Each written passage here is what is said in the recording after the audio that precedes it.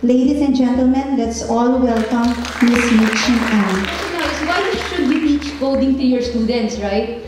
Right now, we're actually teaching you how to use the devices and stuff to the ano, computer class. That's good, right? But at a certain level, coding is actually teaching you how your devices work, the softwares that is you know uh, running inside your tablet. Now, we can't really escape with technology. We have to understand the technology and embrace it so that tayo, as student or as teachers, we will know how to actually leverage or use this wisely in a sense that maybe we can create a new software or uh, create, create something even better.